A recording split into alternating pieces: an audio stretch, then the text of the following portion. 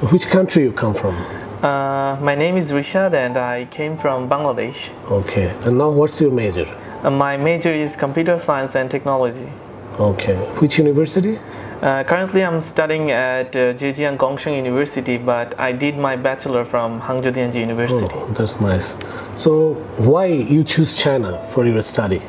After completing my senior high school degree, I was searching some universities in Europe and some other countries for my bachelor degree but uh, there was time limitation and some complication about visa and uh, I had some of my brothers they're studying in different universities in China and they were recommending me that China is really good for study especially engineering because it's now one of the fast developing country in the world so I thought why not uh, to try in China and then I tried and I came here. Okay, got it. So what do you most like in China? China? What fascinates?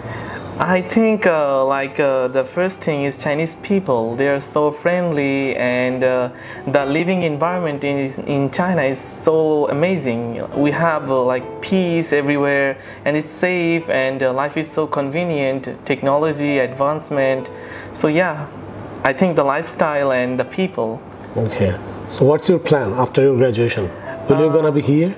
Currently, I'm doing my master degree, so I have planned to do job after completing the graduation.